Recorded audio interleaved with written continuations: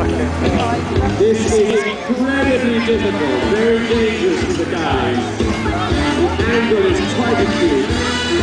Let's give him a huge round of applause for that.